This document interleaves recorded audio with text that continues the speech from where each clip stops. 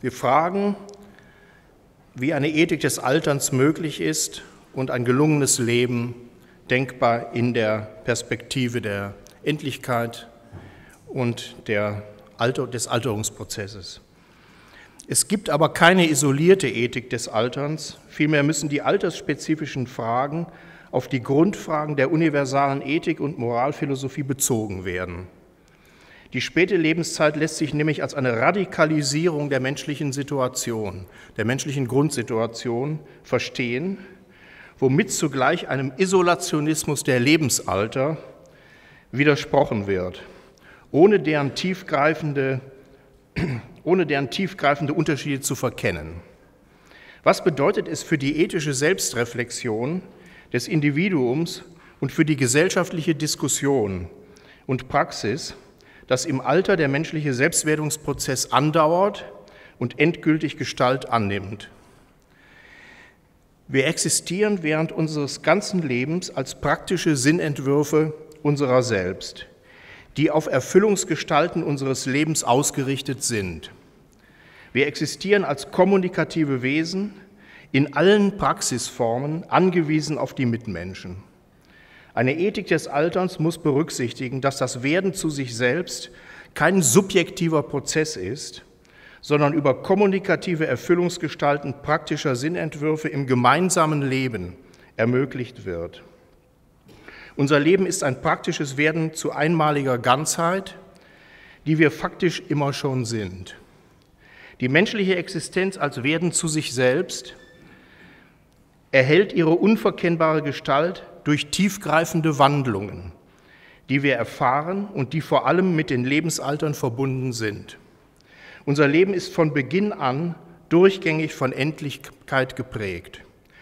Nur einmal Kind, nur einmal jung, nur einmal das Erwachsenwerden, nur einmal die Erfahrung weichenstellender Lebensentscheidungen, nur einmal der Eintritt ins Alter.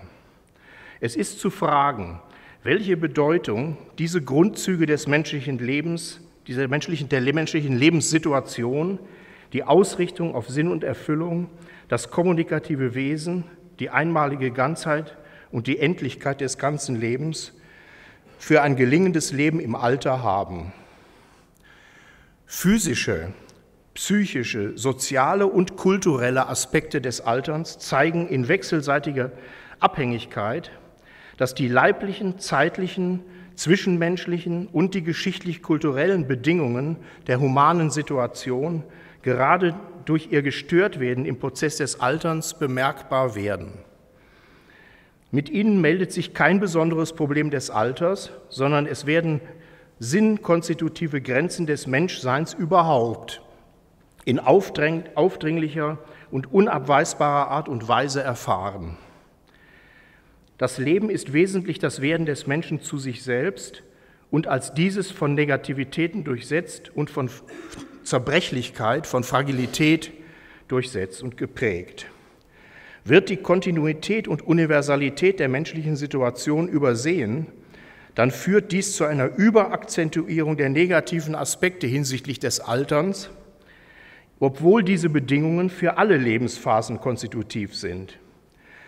Das Werden zu sich selbst im Alter ist indes kein harmonisch verlaufender, zielgerichteter Prozess, sondern eine mühselige, von Belastungen und Entfremdungstendenzen erschwerte Aufgabe des, der authentischen Lebensführung und der Ausbildung eines vernünftigen Selbst- und Weltverhältnisses, deren Gelingen in teils schwer durchschaubarer Form von historischen und sozialen Bedingungen abhängt. Auch in der späten Lebenszeit bleibt der Mensch ein auf Erfüllung und Glück ausgerichtetes Lebewesen. Ebenso wie die anderen Lebensphasen ist das Leben im Alter ein riskantes, gefährdetes Werden zu sich selbst. Unter den spezifischen Bedingungen der späten Lebenszeit kann die vertiefte Einsicht in die Begrenztheiten des Lebens zur Grundlage einer durch Weisheit und Gelassenheit begünstigten Lebenszufriedenheit werden die Gestaltwerdung der einmaligen Ganzheit, als die wir das Leben verstehen, kann einen Zugang zur moralischen, zu moralischen und praktischen Einsichten eröffnen, die in anderen Lebensphasen weniger leicht zu gewinnen sind. Endlichkeit, Negativität und Zerbrechlichkeit des Lebens werden erkennbar, weil unübersehbar. Ebenso wird die Angewiesenheit des Menschen auf kommunikative Solidarität durch Verlusterfahrungen und kulturell-soziale Entfremdungstendenzen deutlich. Die negativen Aspekte des Alterns weisen somit eine ethische Dimension auf und führen individual- und sozialethische Implikationen mit sich. Durch die Radikalisierung bestimmter Aspekte der menschlichen Situation wird im hohen Alter die Bedrohtheit des Strebens nach Erfüllung und nach Glück besonders deutlich. Die Endgültigkeit des gebrochenen Selbstwerdungsprozesses besagt, dass im Altern das Leben seine Gestalt gewinnt und zur ganzen Lebenszeit wird.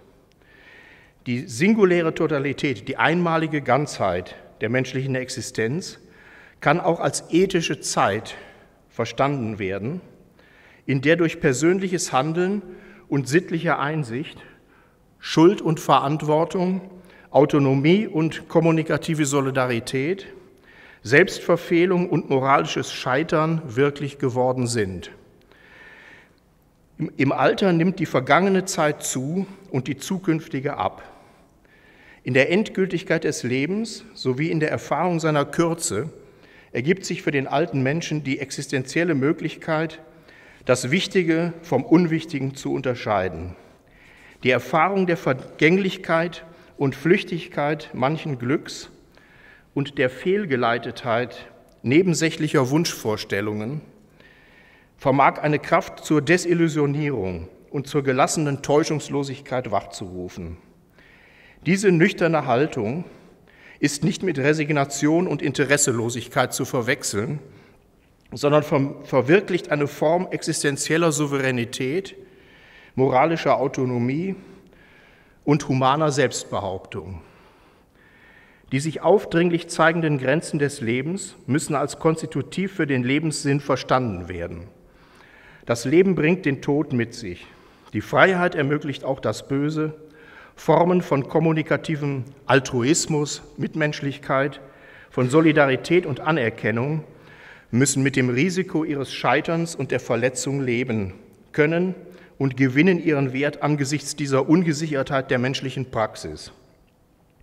Wenn wir unseren Selbstwerdungsprozess in seiner Endlichkeit und Endgültigkeit begreifen, kann dies zu einem bewussteren Leben führen, in dem die Verschränktheit von Endlichkeit und Sinn offenbar wird und wodurch erst das wahre und beständige Glück möglich wird. Wenn wir mit Montaigne sagen können, dass Leben lernen, sterben lernen heißt, so erfolgt damit keine Glorifizierung des Todes. Gefordert wird vielmehr die für ein autonomes Dasein unvermeidliche Auseinandersetzung mit der intensiven existenziellen Endlichkeit, die für alle Lebensalter, Vollzüge und Lebensformen bestimmend ist. Sterben zu lernen, das bedeutet als sterbliches, vernünftiges Lebewesen am Gelingen eines selbstbestimmten und ethisch qualifizierten Lebensentwurfs zu arbeiten. Dazu gehört die kritische und unbefangene Aufklärung über Tod und Endlichkeit, weil die Überbewertung, ja Glorifizierung jüngerer Lebensalter die Exklusion später Lebensalter, die Verdrängung der negativen Momente, der existenziellen Situation und entsprechend ideologisch verzerrte Altersbilder noch viel zu häufig gängige gesellschaftliche Praxis sind. So, ich verlagere mich ein wenig.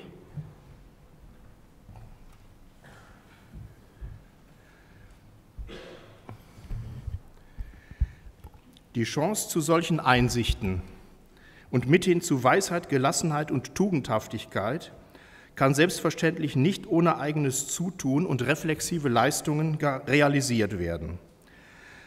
Das Alter ist weder ein Garant für Altersweisheit, noch lassen sich diese Einsichten ausschließlich im Alter erreichen. Gerade darin, dass sie im Alter näher liegen und dass sie das Leben im Ganzen betreffen, liegt bereits der Grund dafür, dass ein genereller Isolationismus für die Persönlichkeitsentwicklung auch jüngerer Lebensphasen verfehlt ist. Intergenerationelle Verständigung kann die Entfremdungstendenzen des kulturellen und sozialen Alterns kompensieren helfen und jüngere Menschen zur bewussten Auseinandersetzung mit der Gestaltwerdung der einmaligen Ganzheit, die sie selber sind, bewegen. Das kommunikative Wesen des Menschen erfordert generationenübergreifende Anstrengungen, eine Kultur des Alterns zu etablieren. Auch wenn sich lebensalterspezifische Bedingungen auffinden lassen, die für ein glückliches Leben bzw. einen gelingenden Lebensentwurf von Bedeutung sind und sich in Ratschlägen der Lebensklugheit formulieren lassen, so gibt es in moralphilosophischer Hinsicht nicht verschiedene lebensaltersspezifische Ethiken. Moralische Geltungsansprüche gelten universal und unbedingt. So verlangt Kants kategorischer Imperativ, dass wir keinen Menschen ausschließlich als Mittel zu unserem Zweck gebrauchen dürfen. Dieses Instrumentalisierungsverbot gilt unabhängig von Zeit, Ort und Alter. Es stellen sich natürlich Probleme, die das Verhältnis zwischen verschiedenen Generationen betreffen, insbesondere hinsichtlich der Gerechtigkeit und der kommunikativen Solidarität. Die Jungen sind, so trivial es klingen mag, die potenziell Alten. Um dies zu begreifen und entsprechend zu handeln, ist es nötig, eine vorwegnehmende, eine antizipierende existenzielle Fantasie zu entwickeln. Wer aufgrund, aufgrund eines verkürzten Menschenbildes die Einübung auf künftige existenzielle Situationen niemals gelernt hat, wird unvorbereitet auf die krisenhaften Erfahrungen des Alters sein und Konflikte und Verlusterfahrungen schwerer oder gar nicht verarbeiten können. Diesen Überlegungen folgend sollten die jetzt Jüngeren den Alten nur zufügen, was sie dereinst von Jüngeren erfahren wollen. Eine humane Kultur des Alterns muss sicherstellen, dass für die Alten kommunikative und existenzielle Erfüllungsgestalten ihrer späten Lebenszeit im gemeinsamen Leben mit anderen Generationen chancenreich ermöglicht und institutionalisiert werden. Institutionalisiert bedeutet, das sind soziale, politische und ökonomische Folgerungen, die sich hier anschließen.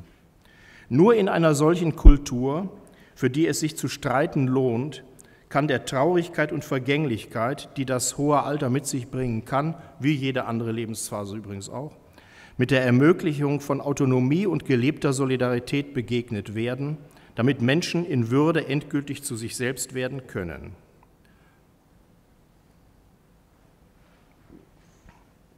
Es ist an der Zeit, Altern gesellschaftlich, kulturell als kommunikativen und selbstreflexiven Prozess der Gestaltwerdung der einmaligen Ganzheit, der durch den Sichtwandel eines sinn- und Leid erfahrenen Lebens geprägt ist, zu begreifen und zu befördern. Es gilt auch die späte Lebenszeit als genuin menschliche Entwicklung zu verstehen und dies nicht nur der Jugend und Reife zuzuschreiben. Dementsprechend muss die Aufklärung über die späte Lebenszeit und das intergenerationelle Verhältnis bereits im Schulalter beginnen. Nur so kann die gesellschaftliche Praxis gelungene Formen gemeinsamer Verständigung entwickeln, die in allen Bereichen der Lebenswelt, etwa in der Pflege, der Palliativmedizin und den sozialpolitischen Altersdiskursen verwirklicht werden, anstatt an diese Stelle Zerrbilder ständig zu setzen. Die gesellschaftliche Diskussion über das Alter und damit verbundene Probleme kann natürlich nicht von ökonomischen Fragen getrennt werden. Sie muss aber kritisch auf verzerrende, klischeehafte Altersbilder überprüft werden, die ideologisch instrumentalisiert werden, um politische Interessen durchzusetzen. Dies gilt nicht nur für katastrophische Altersbilder, sondern auch, wie wir vielfach schon diskutiert und erwähnt haben, für die ausschließliche Orientierung an Wellness und Happiness, die sich als konsumistische Ideale der kapitalistischen Ökonomie anbieten. Hier ist eine Transformation des Menschenbildes entsprechend existenzieller Aufklärung und den damit verbundenen normativen Geltungsansprüchen dringend erforderlich. Es gilt, die Negativität auf vernünftige Art und Weise zu erfahren und zu verarbeiten, um von da aus zu einer wahrhaftigen Verständigungspraxis zu gelangen. Diese anzustrebende humane Kultur des Alterns kann ein Klima der gegenseitigen Anerkennung und des Voneinanderlernens schaffen, in dem klar wird, dass bestimmte Probleme als Probleme der ganzen Gesellschaft und nicht nur als ein von einer Generation, von einer Generation verursacht begriffen werden müssen. Die hochmoderne Gesellschaft darf schließlich, oder wir sagen spätmoderne oder postmoderne Gesellschaft, es gibt allerlei äh, Wendungen dafür, diese Gesellschaft darf schließlich die Tatsache des Alterns nicht medial verdrängen, Angesichts der universal geltenden Menschenwürde muss gesellschaftlich nicht nur gefragt werden, wie beeinträchtigte, benachteiligte, gehandicapte, nutzlose, langsame, auf Hilfe und Ansprache angewiesene, dem Ende zulebende Alte mit den komplexen Anforderungen einer technologisch aufgerüsteten Welt zurechtkommen, sondern was die Gesellschaft aus der existenziellen Tatsache des Alterns lernen kann und muss, umgekehrt. Wir benötigen ein Bewusstsein des humanen Sinns, der Endlichkeit, der Begrenztheit und Verletzlichkeit des Menschen, der Bleibenden. Gegen die Ideale steter quantitativer Steigerung und Überbietung und der Selbstzweckhaftigkeit technisch-instrumentellen Fortschritts kann unsere Gesellschaft im Umgang und Gespräch mit alten Menschen den Wert der Langsamkeit, des Innehaltens, des ruhigen Zurückblickens und Bedenkens der Mündlichkeit, des Maßhaltens und des gelassenen Umgangs mit der eigenen Endlichkeit erfahren und erlernen. Um das Altern und die zeitliche Endlichkeit und Verletzlichkeit des Lebens zu begreifen, muss die tiefe Verbindung von Endlichkeit und Sinn erkannt werden. Dazu bedarf es eines gewissen Abstands von der unmittelbaren Lebenspraxis. Erst durch eine solche nachdenkliche, philosophische Perspektive kann es gelingen, die innere Angewiesenheit vermeintlich völlig unvereinbarer Aspekte des Lebens wirklich zu erfassen. Gewinn und Verlust, Vergänglichkeit und Sinnerfahrung, das wenige das mehr sein kann, solche wirklich tragfähigen Dimensionen des ganzen Lebens kommen gar nicht erst in den Blick, wenn eine fälschliche Verdüsterung oder Verherrlichung des Alters erfolgt, wie in so vielen gegenwärtigen Medien und Ideologien.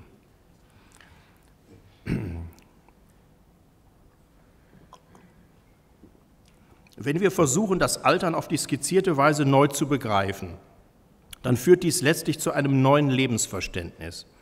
Es wird so hoffentlich möglich, das Gespräch zwischen den Generationen, Gerechtigkeit zwischen ihnen, wie auch sinnvolle Formen gemeinsamen Lebens auch über die engeren Familienbeziehungen hinaus zu entwickeln. Neue Lebensformen, in denen alle Generationen und Altersstufen miteinander und füreinander denken und handeln können.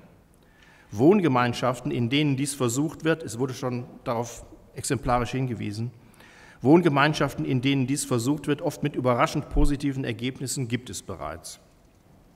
Wenn wir die Perspektiven des ganzen gemeinsamen Lebens einnehmen, das Alter nicht künstlich abspalten, isolieren und dann mit vordergründigen Zerrbildern zu erfassen versuchen und so verfehlen, dann kommen wir Einsichten der modernen und gegenwärtigen Altersforschung näher, die sich prägnant so zuspitzen lassen. Erstens, das Alter als isoliertes Phänomen gibt es gar nicht. Also wenn man das so objektiviert, einfach als ob man wüsste, das ist das Alter. Zweitens, der Alterungsprozess ist nicht notwendig mit Krankheit verbunden. Das heißt, nur wenn wir das ganze Leben in seiner Zeitlichkeit begreifen, begreifen wir auch die spätere Lebenszeit in ihrer Eigenart. Und drittens, verletzlich sind wir immer, Krank werden wir schon als Kind und wir können auch sehr lange gesund sein. Neue lebenstragende Lösungen können wir für unsere Lebensgestaltung erst gewinnen, wenn wir bereits früh in der Erziehung zu einer Erziehung zum ganzen Leben und zu einer Aufklärung über das ganze Leben kommen. Dann können wir die Frage, was bedeutet das recht verstandene Altern für eine humane Kultur, neuen Antworten zuführen. Dankeschön.